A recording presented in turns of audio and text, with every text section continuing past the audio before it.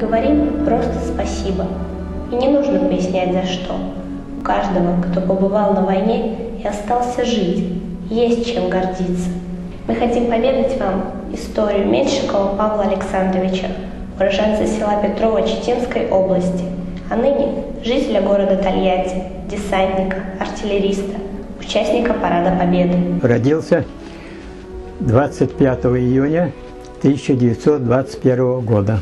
В 1940 году был призван в армию. Служил на Дальнем Востоке. Потом по набору э, попал в военно-воздушные десантные войска. Э, в конце 41 в начале 42 года нас увезли на фронт. Э, сначала в Ивановской области, город Тейково, оттуда под Старую Русу бросили. Оттуда перебросили нас на, на Третий Украинский. В городе Харькове, он уже был освобожденный, там сформировались, дополнили нас и пешим строем до Чернигова, э, а там южнее Чернигова где-то 70 километров есть э, село Мишурин Рог. Там форсировали Днепр и оттуда пошли и пошли в наступление. Вот много освобожденных сел было. Ну, большие города – Кривой Рог, Вознесенск, Бендеры и крупное село Леонтьево. Там я был тяжело ранен.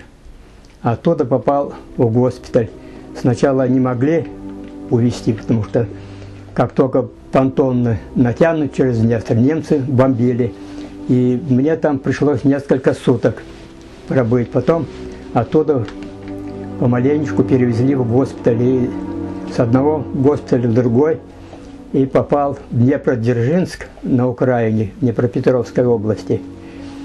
Там пролечился где-то, наверное, немного побольше четырех месяцев.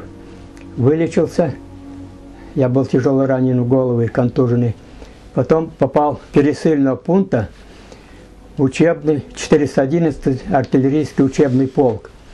Там закончил курс командиров орудий и формировалась 28-я дивизия резерв РГК. Попал в нее. И нас перебросили на первый Прибалтийский. Ну, где прорыв, нас туда и бросали. Вызывать в штаб полка э, меня и моего наводчика Нуреев. Был такой азербайджанец. Ну и Думаю, не знаю, зачем нас вызывают. Когда пришли туда, нам говорят, по приказу Сталина будет проходить парад победы в городе Москве такого-такого числа. Мы вас вот двоих направляем. Ну, с полка нас попало четыре человека. Двоих, когда строевую подготовку проходили, проверяли, двоих сразу отсеяли. А мы с наводчиком ну как старослужащим, приходилось строевой заниматься. Мы выстояли, вот мы попали на, этот, на парад Победы. Нас привезли в Ригу, там переодели во все новенькое. Вот.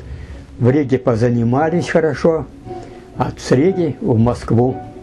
В Москве стояли Алешинские казармы есть там, недалеко от Красной площади. Там готовились тут досталось нам хорошо.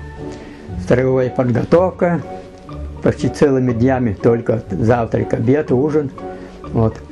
Приезжал сам, вот, э, который командовал нашим фронтом, Говоров, сводным полком.